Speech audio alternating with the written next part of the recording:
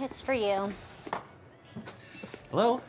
Yes, I was calling about the house for rent. Uh, I I was wondering if it's available the week of. Uh, I'm sorry, one second. I'm getting a bad connection. I've got an echo. I'm gonna head outside.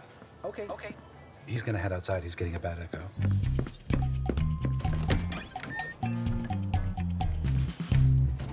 As luck would have it, your house was available the week we needed it. I just had to figure out a way to pay for it. Which meant pulling double shifts at work for the next two months. And the plan was going pretty smooth until one night during the tail end of a double shift, I was really tired and I wasn't paying attention to where I was walking. Which led to a bit of an accident.